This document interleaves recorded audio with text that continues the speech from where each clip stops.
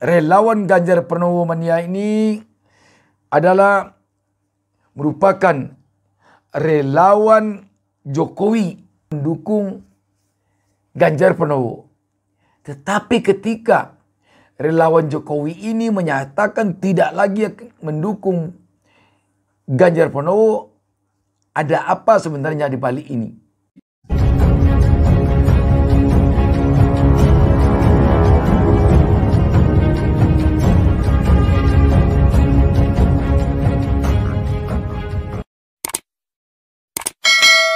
Assalamualaikum warahmatullahi wabarakatuh. Ketemu lagi kita dalam kesempatan ini. Saya Busta Minarda mendoakan kepada Allah Subhanahu wa taala Tuhan Yang Maha Esa. Semoga seluruh pemirsa channel YouTube Busta Minarda Official selalu diberikan keberkahan hidup oleh Allah Subhanahu wa taala informasi-informasi politik yang mengejutkan makin hari tampaknya semakin banyak muncul ke permukaan. Kali ini informasi mengejutkan datang lagi. Relawan Ganjar Pranowo Mania segera akan membubarkan diri. Padahal mesin politik para tokoh-tokoh yang bakal maju menjadi capres atau cawapres 2024 masih di awal-awal pemanasan. Ada apa ini? Dan ini tampaknya akan sangat berpengaruh kepada pencalonan Ganjar Pranowo ke gelanggang Pilpres 2024 mendatang. Banyak tanda tanya mungkin yang muncul di publik tentang rencana pembubaran Ganjar Pranowo Mania ini. Sebab kita tahu bahwa relawan Ganjar Pranowo Mania ini merupakan relawan Jokowi yang sekarang berpindah mendukung Ganjar Pranowo. Tetapi ketika relawan Jokowi ini menyatakan tidak lagi mendukung Ganjar Pranowo, ada apa sebenarnya di balik ini? Dan ada apa sesungguhnya sekarang ini antara Ganjar Pranowo dengan Pak Jokowi? Apakah Ganjar Pranowo tidak lagi menjadi orang yang diharapkan oleh Pak Jokowi untuk didukungnya menjadi capres 2024 atau Pak Jokowi telah punya pilihan lain selain dari Pak Ganjar Pranowo. Apakah itu Prabowo Subianto atau bagaimana? Kita baca sebuah berita tentang hal ini. CNN Indonesia menurunkan berita di bawah judul Relawan Ganjar Pranowo Mania bubar jalan sebelum pemilu 2024. CNN Indonesia.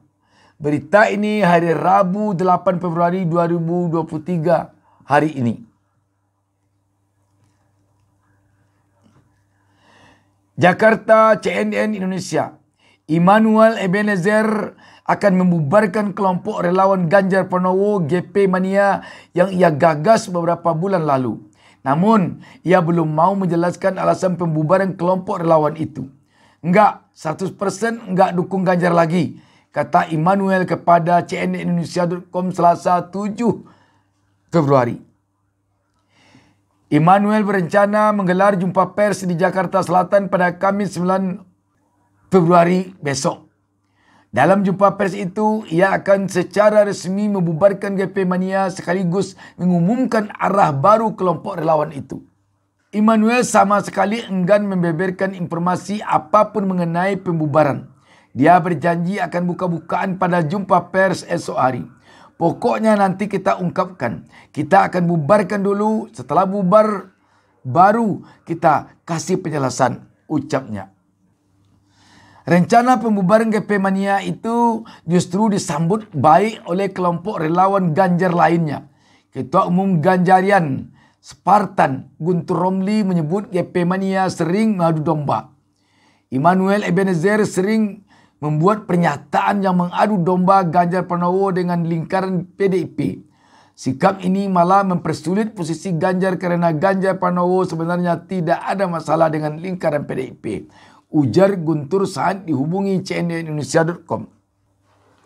GP Mania adalah kelompok relawan yang didirikan orang-orang Jokowi Mania. Kelompok itu dipimpin oleh Ketua Umum Jokowi Mania Immanuel Ebenezer. Immanuel vokal membela Ganjar setelah GP Mania terbentuk. Bahkan dia beberapa kali mengkonfrontasi PDIP yang kerap kali mengkritik manuver politik Ganjar. Salah satu manuver Manuel adalah membentuk Dewan Kopral untuk mendukung Ganjar. Gerakan itu ia buat untuk menyaingi Dewan Kolonel yang dibentuk elit PDP untuk mendukung Puan Marani sebagai calon presiden 2024. Ini memang menarik sahabat sekalian. Kita melihat sekarang ini di tubuh tim Ganjar sendiri terkesan telah pecah di mana relawan yang bernama Ganjarian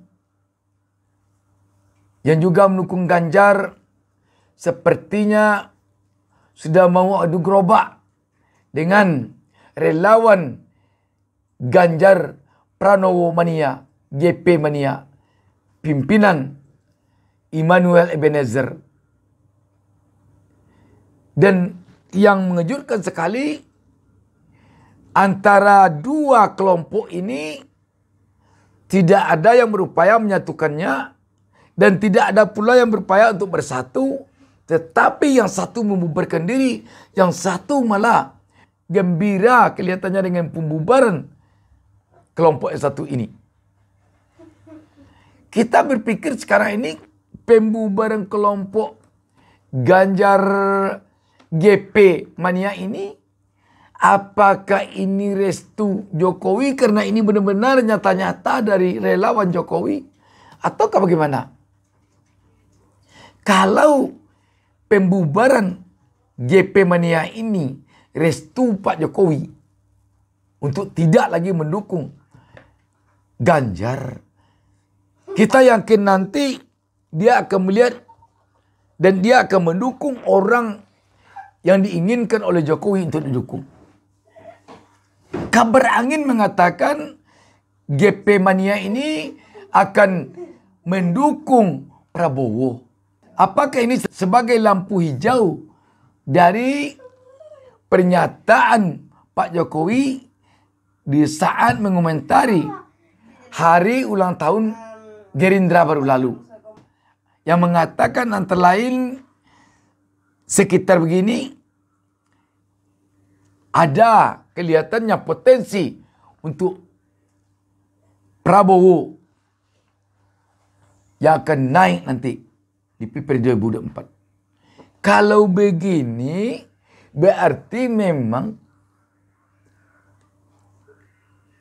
Pak Jokowi tidak lagi mendukung Ganjar. Tetapi juga tidak mendukung Puan. Dan mendukung Prabowo. Atau kalau nanti GP Mania ini mendukung Anies. Lain lagi persoalannya. Sebab kita melihat pernyataan-pernyataan Manuel beberapa waktu lalu juga ada seperti terkesan sedikit simpatinya kepada Anies Baswedan. Ini semakin menarik. Namun yang jelas sekarang ini ada semacam pecah kongsi di tubuh kelompok Ganjar Pranowo. Dan juga ada semacam pecah kongsi di tubuh PDIP. Kalau memang demikian, kita tidak tahu apa yang menyebabkan Jokowi pecah kongsi dengan Ganjar. Dan kita juga tidak tahu apa yang terjadi komitmen antara Jokowi dengan Prabowo Subianto kalau memang Pak Jokowi mendukung Prabowo Subianto. Kalau tidak ada deal-deal yang begitu prinsip Tidak mungkin rasanya Pak Jokowi akan mendukung full Prabowo Subianto. Sebab didasari apa pun tidak masuk akal. Didasari oleh satu partai tidak. Jadi benar-benar publik akan menunggu apa pernyataan dari Noel besok ini dalam jumpa persnya. Dan apa sesungguhnya nanti isi di balik pernyataannya itu. Ini benar-benar menarik ini. Kalau Pak Jokowi tidak mendukung Ganjar tetapi mendukung Puan Marani masih bisa mungkin publik menerima. Sebab korelasinya ada. Tetapi ketika Pak Jokowi tidak mendukung Ganjar lagi, namun mendukung Prabowo, ini baru menjadi tanda tanya besar di publik. Ada apa sesungguhnya? Besok kita cari jawaban pertanyaan ini setelah jumpa pers yang akan dilakukan oleh Immanuel Ebenezer dalam rangka pembubaran relawan GP Mania.